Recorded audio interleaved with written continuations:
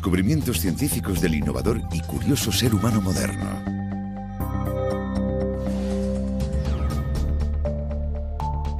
Existen cinco claves que nos abrirán las puertas al futuro.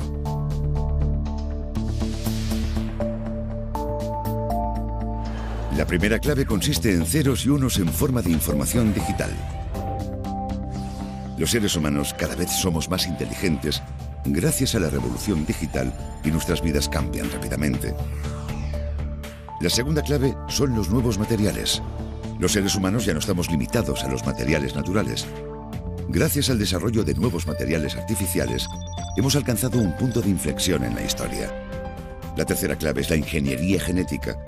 Aunque actualmente haya comida en abundancia, puede que no sea así en un futuro cercano pero mediante la ingeniería genética, la humanidad podrá ser capaz de superar esta gran amenaza.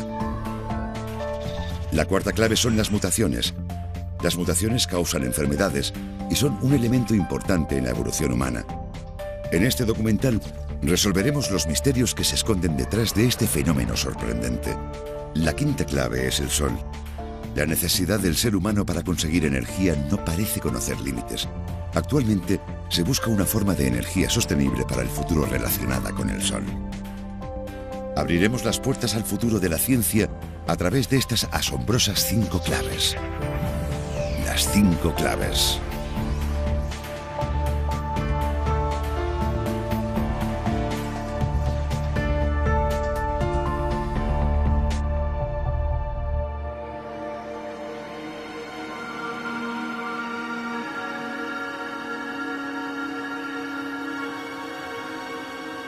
Avancemos cientos de años en el futuro.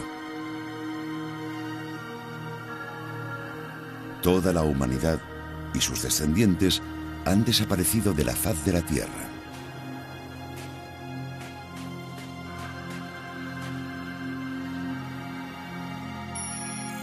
Las razas humanas del futuro buscan rastros de los humanos que vivieron a principios del siglo XXI.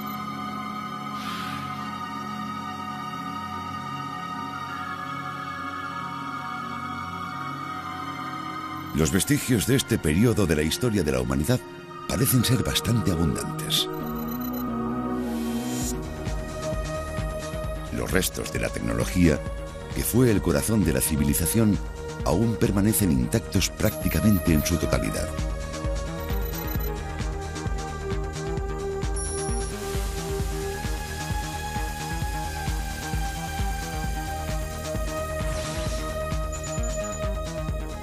Los materiales encontrados fueron creados por el ser humano, no por la naturaleza. Estos nuevos materiales fueron clave para la civilización moderna. Segunda parte. Nuevos materiales.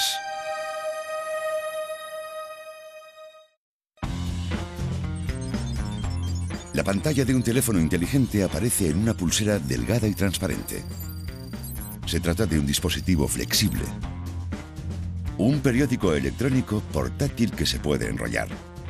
¿Cuál es la clave para entender la base de los aparatos futurísticos que vemos en las películas de ciencia ficción? La clave es el grafeno, un nuevo material creado por el ser humano. El grafeno se fabrica a partir de una sola capa de grafito.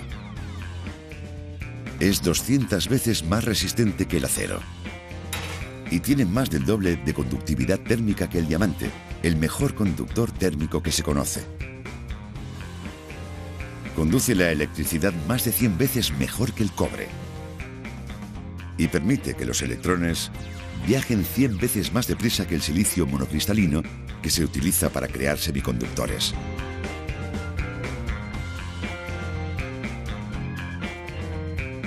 Cuando se extienda el uso del grafeno, será posible crear imágenes flexibles,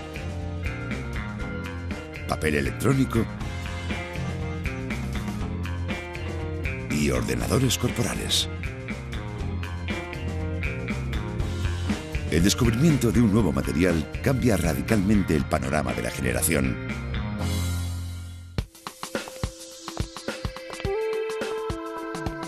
Silicio, plástico, nylon, Estos nuevos materiales han transformado la civilización humana del siglo XX.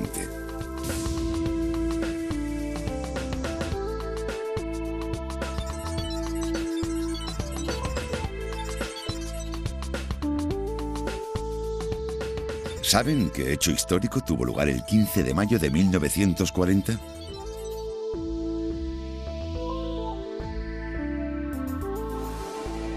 Ese día, mujeres de los Estados Unidos acudieron al centro comercial en Tropel. Fue el día en que se pusieron a la venta las primeras medias de nylon. Causaron furor. Aunque las medias de nylon costaban el doble que las otras medias del mercado, se vendieron 4 millones de pares solo el primer día. Las medias de algodón tradicionales perdían su elasticidad muy fácilmente, pero las medias de nylon eran ligeras, brillantes y muy elásticas, por lo que cautivaron el corazón de todas las mujeres. Las medias de nylon eran más finas y más transparentes que las medias de seda, lo cual provocó que las mujeres empezaran a afeitarse las piernas. Así es como las medias de nylon causaron un cambio masivo de estilo de vida. El nylon se fabrica a partir de una combinación de carbón, aire y agua. Este material no se forma en la naturaleza. Se trata de la primera fibra sintética producida mediante la combinación de distintos materiales. La popularidad del nylon no solo se limitaba a la industria textil. Con el comienzo de la Segunda Guerra Mundial, se usó también en paracaídas, en neumáticos para vehículos militares, cuerdas, tiendas de campaña y otros pertrechos. Algunas mujeres incluso donaron sus medias al ejército para fabricar paracaídas.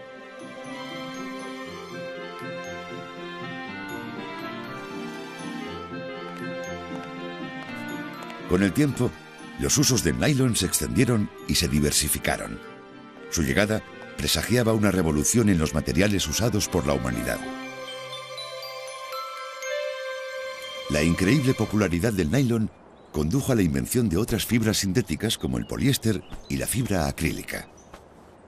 Estos materiales, junto con el nylon, son las tres fibras sintéticas más usadas hoy en día. Había empezado una nueva era en la que la humanidad ya no dependía de la naturaleza para obtener materiales.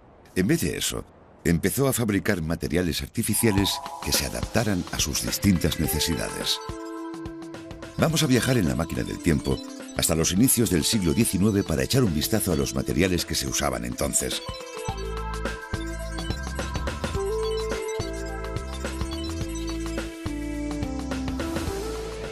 La gente llevaba ropa hecha de lana. seda y algodón, los cuales se obtienen de plantas y animales. Incluso los botones estaban hechos de huesos de animales, colmillos y caparazones de tortuga. Las teclas de los pianos se fabricaban con marfil de elefante. Los libros se ataban con una cola que se obtenía hirviendo huesos de animales viejos y las cubiertas eran de piel.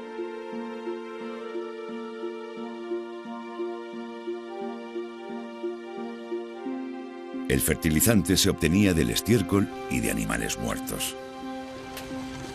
Casi todos los materiales provenían de plantas o animales.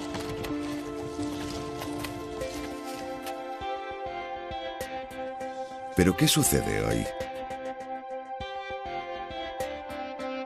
Cuando los primeros rayos de sol del día entran por la ventana, nos levantamos de la cama sujeta con muelles de acero.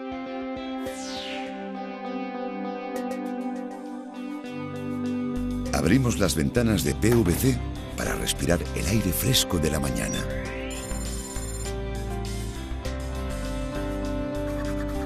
Muchos objetos de nuestro día a día son de plástico. Y ya no llevamos ropa de materiales naturales, sino que está hecha a partir de fibras sintéticas.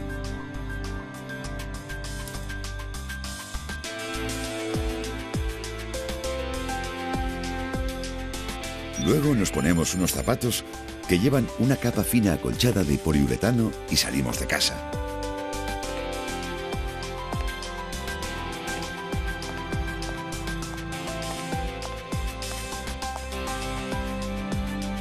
¿Cómo ha afectado esta revolución de los materiales a nuestro estilo de vida?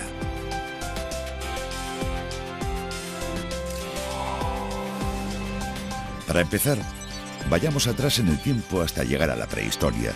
Mucho, mucho tiempo atrás. La tarea principal del hombre primitivo era cazar para poder comer. ¿Qué tipo de material usó para poder cazar animales de forma más eficiente y abundante? Usó la piedra, a la que daba forma picándola y afilándola. Estamos hablando de la edad de piedra. Más adelante, el hombre aprendió a usar los metales. Fabricó una aleación combinando el estaño y el cobre. El material obtenido era el bronce, y esta nueva era recibió el nombre de la Edad de Bronce. Épocas enteras de la historia de la humanidad son bautizadas a partir de los materiales que se usaban. ¿Qué material se usó después de la Edad de Bronce? Las civilizaciones antiguas se instalaron en las ricas tierras alrededor del río Amarillo, el río Indo, los ríos Tigris y Éufrates y el Nilo. Por otro lado, en Europa, que carecía de ríos importantes, solo había tierra árida que no podía soportar la existencia de grandes poblaciones. Pero esto cambió durante la Edad Media, convirtiendo Europa en uno de los puntos centrales de poder. El secreto de este éxito es el hierro. Las máquinas de vapor y la maquinaria textil de vapor que propiciaron la revolución industrial de Gran Bretaña en el siglo XVIII fueron hechas de acero. El acero fue el responsable del deslumbrante progreso económico que siguió avanzando a un ritmo nunca visto hasta entonces en la historia de la humanidad, convirtiendo a Gran Bretaña en la superpotencia más destacada del mundo durante 200 años. En el siglo XX fueron los Estados Unidos quienes emergieron y se convirtieron en una superpotencia mundial. El increíble progreso económico de los Estados Unidos fue también impulsado por la industria del acero. Fue así como los materiales engendraron nuevas civilizaciones y tuvieron un papel imprescindible en el éxito o en la caída de los imperios. Los materiales también han cambiado nuestro día a día. Los utensilios para comer, que solían ser de plata o latón, ahora son de acero inoxidable.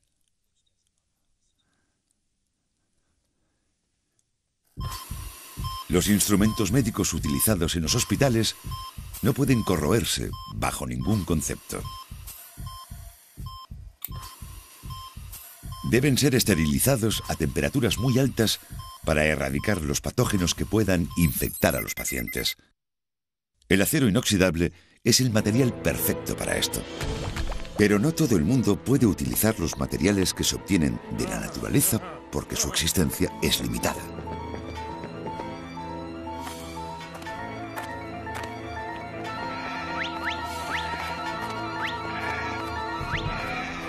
Por esa razón, estos materiales suelen ser caros. Mientras que la gente rica puede utilizar estos materiales a su antojo, otras personas no pueden hacerlo. La disponibilidad de estos materiales depende en gran medida de la riqueza individual, y muchos son monopolizados por los escalones más altos de la sociedad. Resulta interesante que la escasa disponibilidad del material con el que se fabricaban las bolas de billar condujo a un desarrollo inesperado. Originalmente, el marfil se usaba para fabricar bolas de billar. Un solo colmillo de elefante servía para fabricar ocho bolas de billar. El billar había ganado mucha popularidad y sus ventas empezaron a dispararse. Pero el marfil de elefante se obtenía mediante la caza furtiva y no era fácil de conseguir. Una empresa de bolas de billar estadounidense prometió una recompensa de 10.000 dólares para quien inventase un nuevo material para las bolas de billar. Muchos vertieron sus energías en el desarrollo de un nuevo material para las bolas de billar y artificialmente sintetizaron estos nuevos materiales. Fue entonces cuando se inventó un plástico llamado celuloide. El celuloide es el material con el que se fabrican las pelotas de ping-pong. Pero como el plástico del celuloide contiene un polímero natural, no pudo recibir el título de primer material artificial inventado por el ser humano. Más adelante, un químico estadounidense llamado Leo Bigland obtuvo una pista importante a un papel al que no había prestado mucha atención hasta el momento. Siguiendo la pista de lo que vio en ese papel, Bigland puso en marcha un laboratorio y empezó a desarrollar distintos materiales combinando fenol y metanal. Pero el resultado de su trabajo era un material resinoso que se quedaba pegado a los objetos de cristal del laboratorio. La resina natural es un líquido segregado por plantas y animales que no es soluble en agua y solo se derrite con alcohol o éter. Pero la resina que Bigland creó no se derretía con ningún disolvente. Así que decidió abordar el problema desde otra perspectiva y creó una resina aún más resistente.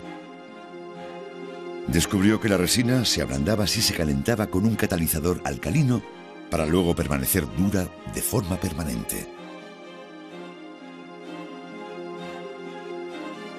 Finalmente, en 1909, consiguió crear la baquelita, que bautizó con su propio nombre. Había inventado el primer plástico artificial. Fabricantes de todo el mundo enloquecieron con la baquelita. Necesitaban un material aislante que les permitiera usar la electricidad de forma segura y la baquelita era el material perfecto para hacerlo.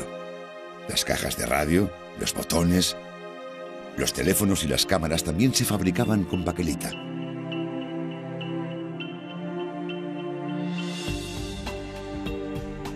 Con la introducción de la baquelita en la industria, Bigland hizo una gran fortuna.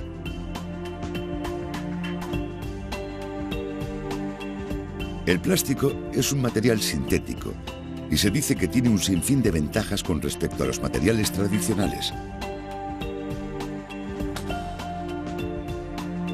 Si estiras una goma o un muelle y luego lo sueltas, volverá a su forma original.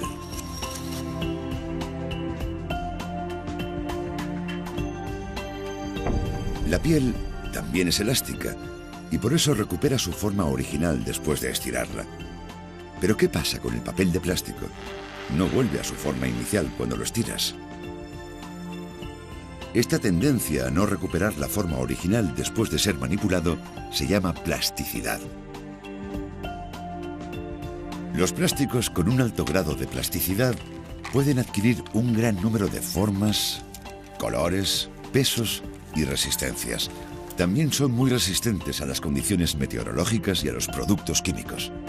En 1920, momento de la producción de una gran variedad de materiales sintetizados artificialmente, Staudinger, un químico alemán, sacó a la luz el concepto del polímero, un tipo de macromolécula. Las macromoléculas se crean a partir de la combinación de miles de clústeres atómicos en una molécula mayor.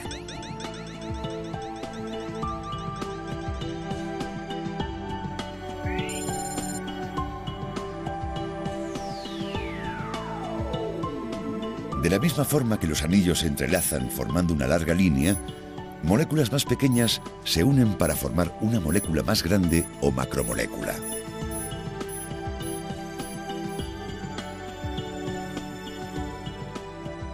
Al conocimiento del concepto macromolecular le siguió la invención del nylon por parte de Wallace Carothers, un investigador de DuPont.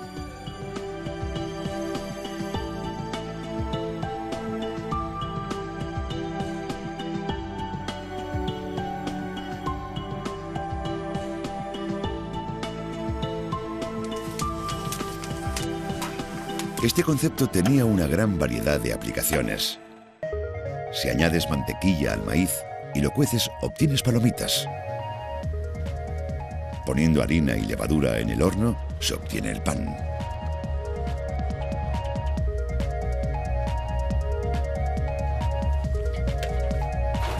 Si presionas y calientas el grano, puedes hacer galletas coreanas tradicionales.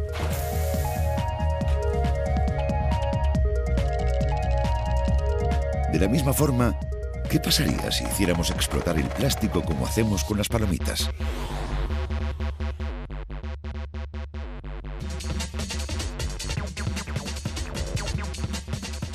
A finales de los años 90, Apple inventó el iMac, un ordenador con un interior claramente visible. Se fabricó usando policarbonato, un tipo de plástico que es transparente como el cristal, pero que no se rompe. El año 1969, el plástico se usó en el primer viaje del hombre a la Luna. El casco que utilizó Neil Armstrong cuando dio los primeros pasos sobre la Luna también estaba hecho con policarbonato. Muchos de los objetos que se utilizaban habitualmente y que se rompían con facilidad han sido transformados usando policarbonatos para que no puedan romperse ni con un martillo.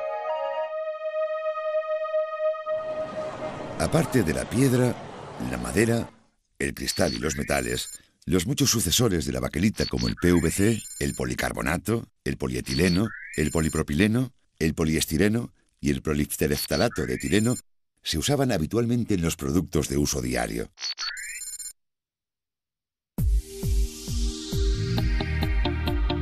El plástico incluso ha cambiado el arte. Los muebles que antes eran de madera ahora también son de plástico.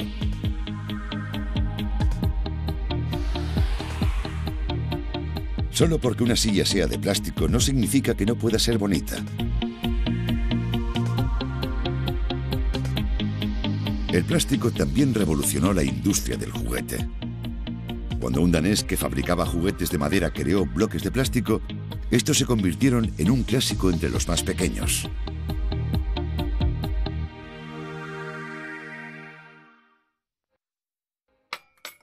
A mediados de los 80, el plástico empezó a ganar terreno a los metales, convirtiéndose en el más común de nuestras vidas. En el pasado, todas las bebidas gaseosas se embotellaban en botellas de cristal. Pero eran botellas muy pesadas y podían romperse en la boca si antes usabas un abrebotellas. Las botellas de cristal incluso fueron clasificadas como peligrosas en los Estados Unidos. Las botellas de prolitereftalato de etileno se crearon para evitar los problemas causados por las botellas de cristal. Estas tenían formas diferentes dependiendo del tipo de líquido que contenían. Las botellas de agua eran más ligeras y delgadas y tenían una base plana. Por otro lado, las bebidas gaseosas se embotellaban en botellas curvadas con cinco o seis muescas en la base. Estas muescas servían para dispersar la presión que emite el dióxido de carbono de este tipo de bebidas. Los plásticos eran suficientemente maleables como para poder diseñar un número infinito de formas. Materiales sintéticos creados por el humano, no por la naturaleza. Se trata de innovaciones brillantes, pero hay algo que todos hemos olvidado. Hemos olvidado el peligro medioambiental que estos materiales esconden.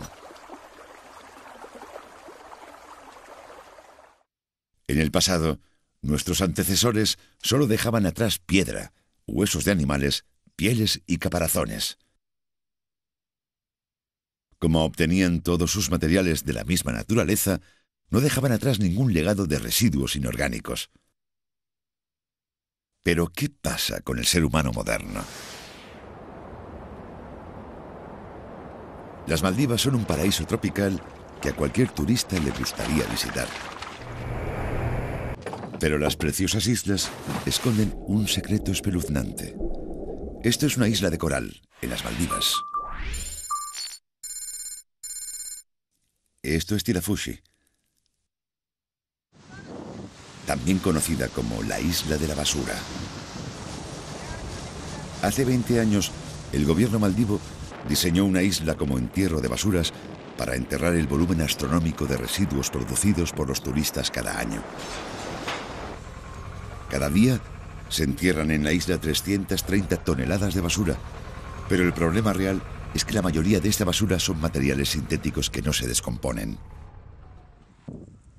El aire de la isla es denso, con gases nocivos que provienen de la incineración de plásticos.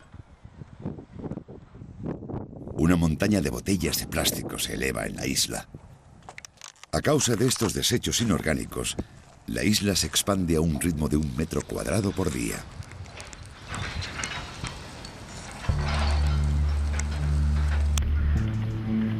Junio de 2008. Una ballena apareció muerta en las costas de Playa Patong, en Tailandia. Era un cachalote enano de dos metros de largo. Dentro del estómago del cachalote se encontraron 26 bolsas de plástico. La causa de su muerte fue la presión de la basura en las paredes del estómago. El cachalote no podía comer porque no podía digerir las bolsas y murió de hambre. Muchas aves costeras también han sido encontradas muertas después de comer trozos de plástico que no pudieron digerir. El 90% de la basura que flota en los océanos del mundo es plástico.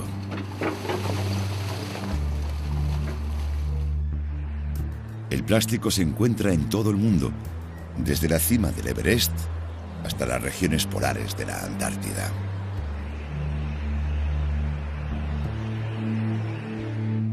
Los polímeros como el plástico no pueden ser degradados por microorganismos.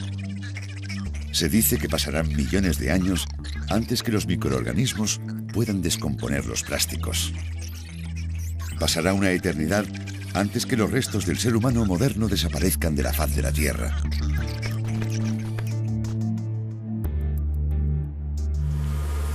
Hasta ahora, la prioridad de las empresas era bajar los precios de los productos sin considerar sus efectos en la salud humana o en el medio ambiente.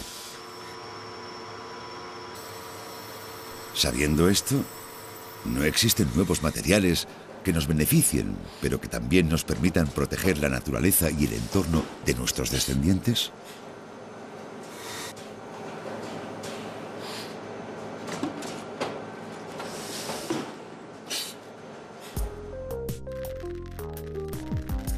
Actualmente, muchos científicos están investigando distintos plásticos biodegradables. Están creando plásticos usando polímeros extraídos del almidón y la celulosa de las plantas.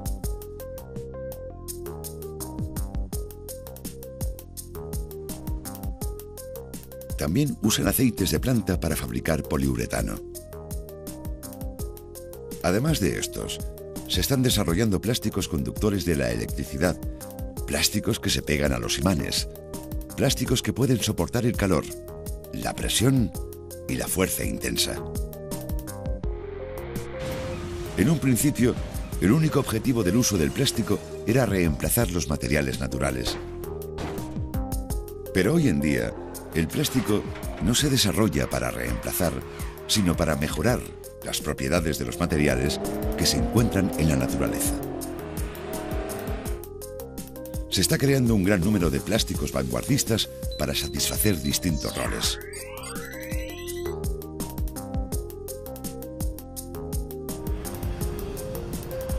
Hoy en día, la humanidad está entrando en una nueva era de materiales que no tiene nada que ver con el plástico.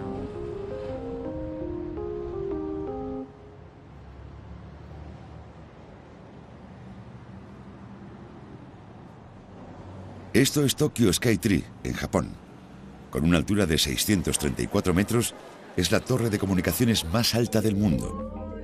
Hay una aplicación que supera todas las innovaciones que han sido resultado de la construcción de rascacielos. Es el ascensor espacial. Una estructura deslumbrante propia de una película de ciencia ficción.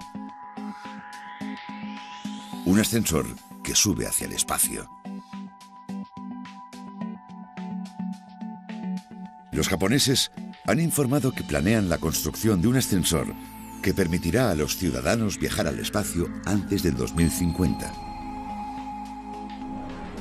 El ascensor, con una capacidad para 30 pasajeros, se elevará en el aire a una velocidad de 200 km por hora, hasta su destino final a 96.000 kilómetros de distancia de la Tierra. Se construirán laboratorios y espacios habitables a 36.000 kilómetros de altura donde se tardará una semana en llegar. El nuevo material que hace que este tipo de megaestructuras sean posibles es el nanotubo de carbono. Se planea construir un ascensor continuo de 96.000 kilómetros de altura usando esta fibra tan resistente pero ligera al mismo tiempo. ¿Y qué es el nanotubo de carbono exactamente? El grafito es un material que se encuentra en el interior de los lápices. El diamante es familiar del grafito y ambos materiales están hechos de carbono. Los átomos de carbono se distribuyen de distintas maneras formando distintos materiales. Los nanotubos de carbono son tubos creados a partir de una pared de átomos de carbono colocados hexagonalmente.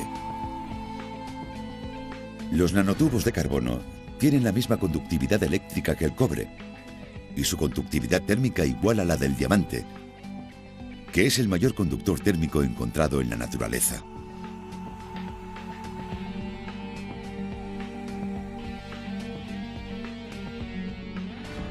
200 millones de nanotubos juntos crean un filamento del mismo grosor que un pelo humano. Sin embargo, los nanotubos de carbono tienen un ratio longitud-diámetro de más de 10.000 a 1. Esta es la razón por la que los nanotubos de carbono son el único material que nos permite crear el ascensor espacial.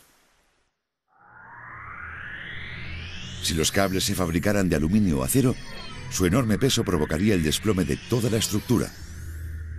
Pero los nanotubos de carbono son muy resistentes y ligeros a la vez, así que son el material ideal para los cables del ascensor.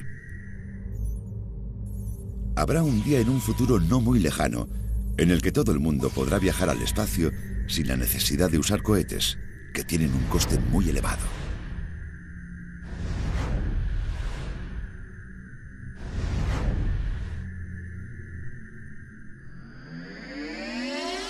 Los nanotubos de carbono son conductores eléctricos y también pueden actuar como semiconductores cuando están en conjunto.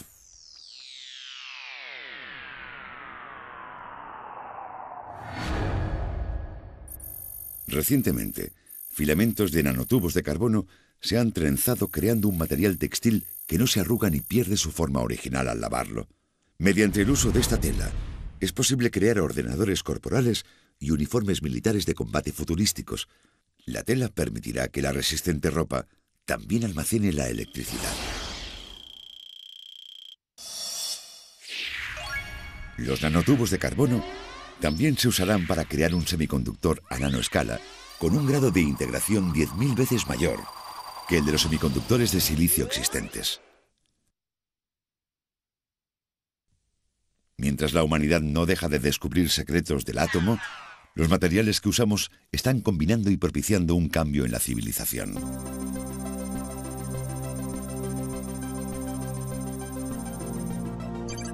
¿Cómo son los átomos exactamente y cómo de grande es un nanómetro? Un nanómetro es una mil millonésima parte de un metro. El mundo tal y como lo conocemos está volviendo pequeño.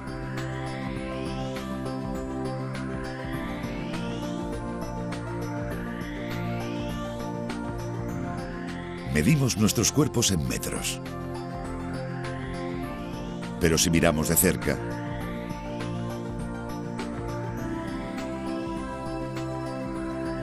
veremos las células de la piel, las células de la sangre, los núcleos de las células y el ADN. Veremos una doble hélice y finalmente, en la milmillonésima parte de un metro, o un nanómetro, veremos la estructura de los átomos. Un nanómetro es incluso más pequeño que la longitud del ADN, que es la base de toda vida en la Tierra.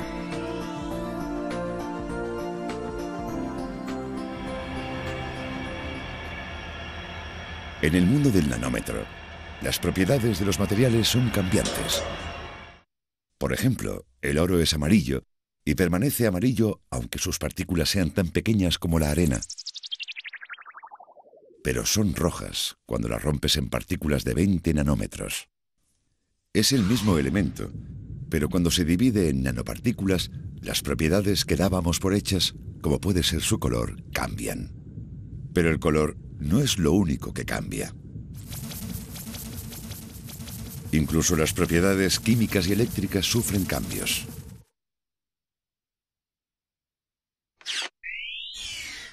La nanopintura tiene otra propiedad particular que se manifiesta cuando las partículas se dividen.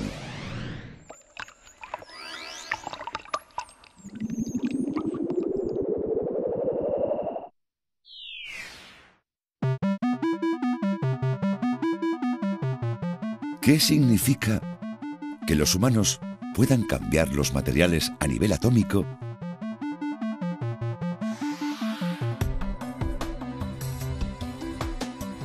¿Y cómo cambiará el mundo el desarrollo de la nanotecnología? Esto es un estadio nano que los científicos de IBM han creado colocando átomos de acero sobre una superficie de cobre. El conocimiento de los nanomateriales y la capacidad de manipularlos podría revolucionar el proceso de fabricación industrial. El proceso de fabricación industrial actual se puede comparar con el de esculpir una estatua. Primero, se prepara una gran pieza del material a trabajar. Luego se esculpe y se corta hasta convertirlo en útil. Este es un proceso de fabricación bastante primitivo.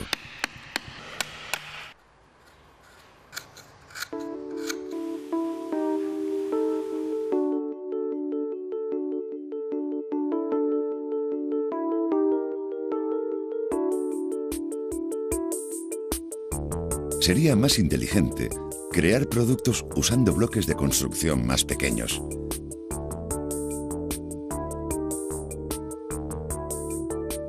Este método permitiría evitar los residuos innecesarios y a la larga sería más eficiente.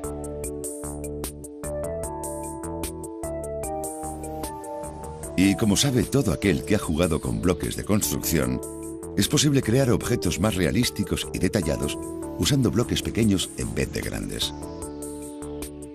De esta forma, el tamaño del bloque de construcción determinará la precisión del objeto.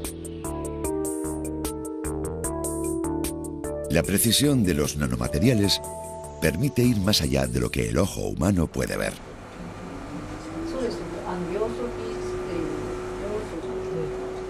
Si pudiéramos manipular los átomos a nanoescala, podríamos crear objetos que son infinitamente más detallados y precisos de lo que son actualmente. Además, como no se produce ningún residuo durante el proceso de fabricación, se previene la contaminación medioambiental y los residuos innecesarios. La posibilidad de modificar los átomos a nanoescala. Jean-Pierre Dupuy, filósofo político y social francés, dijo que con el esfuerzo del ser humano para entender todo el proceso a nivel atómico y aprendiendo sus algoritmos, la humanidad intenta imitar las cosas que hasta ahora eran dominio exclusivo de la naturaleza.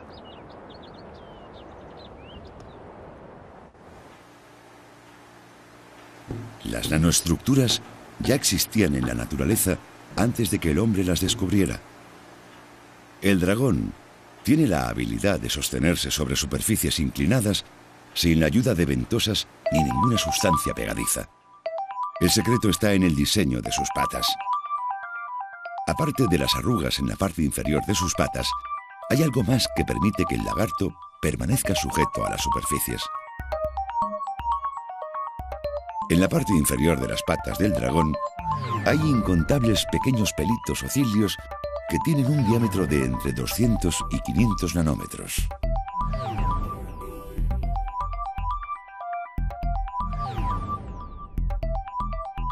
Cada cilio es solo ligeramente adhesivo, pero cientos de ellos permiten que el dragón soporte pesos que son docenas de veces mayores que el peso de su cuerpo.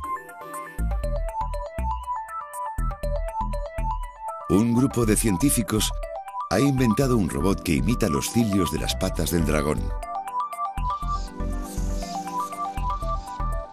Un lagarto robot escala una superficie resbaladiza a una velocidad increíble. Es el robot escalador que fue escogido por la revista Time como el invento del año 2006.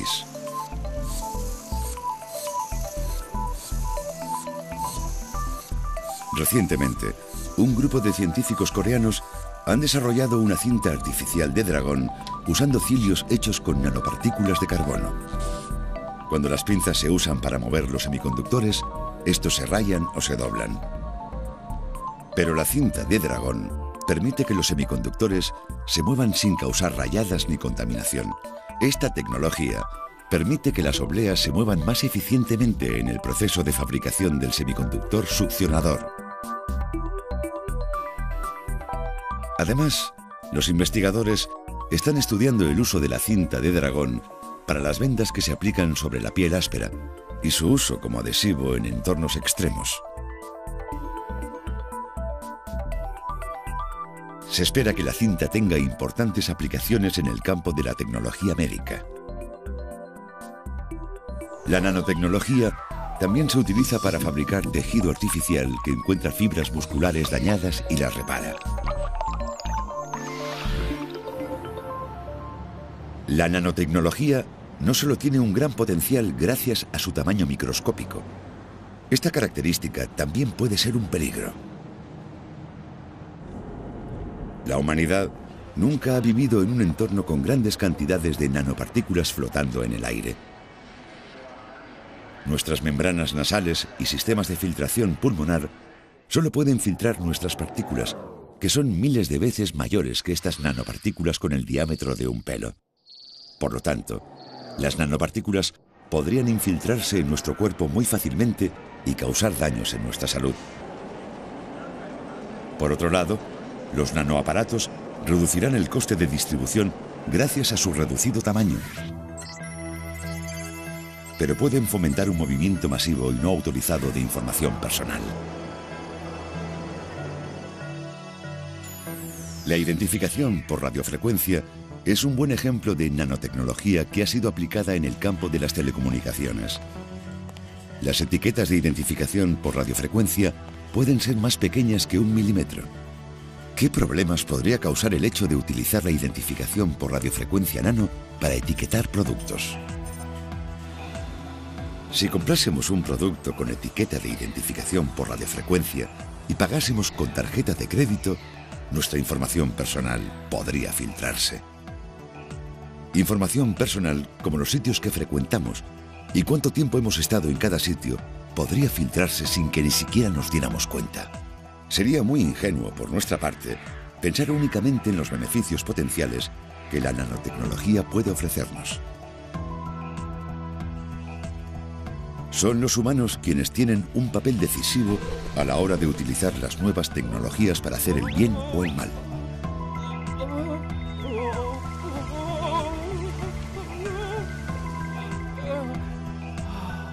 A partir de nuestras decisiones, una tecnología puede actuar como un beneficio para la humanidad o en su detrimento.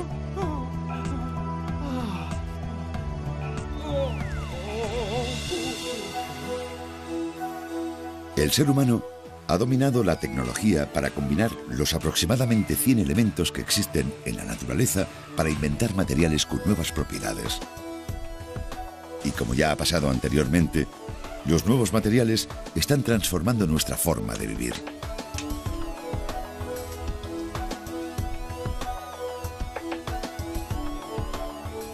Un delgado traje inífugo de última generación que se infla en la parte del pecho y la espalda cuando un bombero salta al fuego y lo hace gracias a 64 muelles hechos con una aleación con memoria de forma. La ropa del futuro está hecha con nuevos materiales y será una amalgama de nuevas tecnologías que le proporcionan un gran número de funciones. Pero el objetivo final de la nanotecnología es imitar los mecanismos que se encuentran en la naturaleza. Y este objetivo sirve de luz guía para todas las nuevas tecnologías que se están desarrollando en la actualidad. Las grandes fuerzas de la naturaleza son verdaderamente asombrosas. Sin embargo, no todas estas fuerzas son beneficiosas para el ser humano. Mientras que unas proporcionan ayuda ilimitada a la humanidad, otras causan estragos y destrucción debido a los grandes logros del ser humano.